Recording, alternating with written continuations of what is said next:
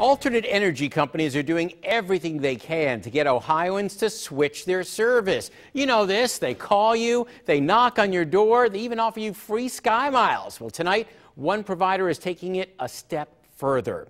Future Now Energy is now mailing out money. A nine on your side viewer, Jim Thomas, says his family received this $40 check from Future Now Energy. But while this is a legitimate check, we have a caution. The check is a carrot to get you to switch your service from Duke to Future Now. But if you're already under contract elsewhere, you could be hit with a $150 termination fee. So do your homework before you accept it. Now that we're done with those